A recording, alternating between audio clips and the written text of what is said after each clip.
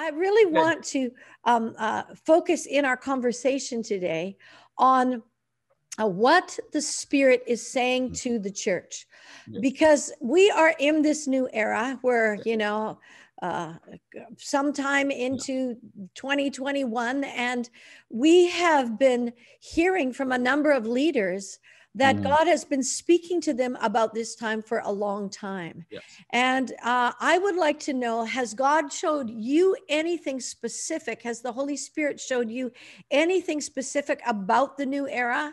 Mm. How to handle it, what to do, how to get there, eyes and wings? What? Yes what should people be doing or saying and also um, yeah so so let, let me know that right no wonderful i have a new I always go to the word. And, not, and I have dreams very regular. Ministry is called God Encounters Ministries. And so I am a person of encounters. I have been, I don't know, for 40 years, let's say at least. So, but I'm going to so you, you began having encounters as yes. a teenager?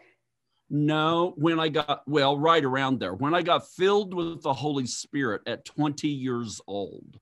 So I have been prophesying for 48 years. And I, the first thing that happened wasn't speaking in tongues or prophesying, it was having visions. Hmm. So I started having visions over 48 years ago. Then I prophesied, then I spoke in tongues. And your beginnings, reveal a lot about your calling and your destiny. So it was first visions, second prophecy, third tongues, but it was always about discerning of spirits. Hmm. And so discerning of spirits, as far as in the giftings, is actually my higher realm. Hmm. That is wow. my higher realm. So I started there as far as like it, it like unfolding when I was 20 years old. But as a child, I always knew things. I felt things, I knew things, and I just talked to God all the time, and God talked to me. Wow. And That's then when you got converted, it the whole sense of knowing and feeling oh. massively increased into full-blown yep. visions. Were you awake? Yep. Did you see it with your eyes, hear it with your ears? What? Um it was a snapshot pictures. It would like a milliseconds. It would go like that. And I was like, what was this?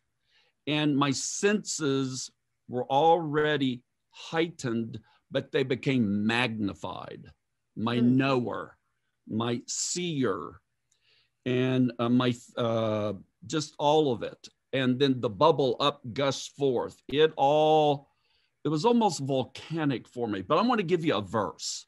Okay. Here is the verse where I live now. It's Daniel 12, 3. And I believe this is a verse that I want to I don't want to say it's reserved for these days, but I'm going to say it is absolutely amplified in these days. Daniel 12, 3. For this is a part of the new ways for the new era. Daniel 12, 3.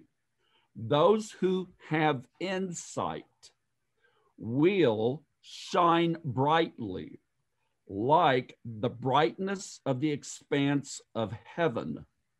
And those who will lead the many to righteousness like the stars forever and ever. There are those who are chosen, and because of the way they cooperate, and they will grow in what? Insight, in divine insight. And they are what I call the hope solutionist. When the world has no answer, God is the answer, but God gives divine insight. That is where we are. We are at a part of the new ways in the new era is divine insight. He raises up those who gain insight into all, whether we call it the seven cultural spheres of society, where it's not limited. You know, we know what I know who I'm addressing right now the global Shiloh.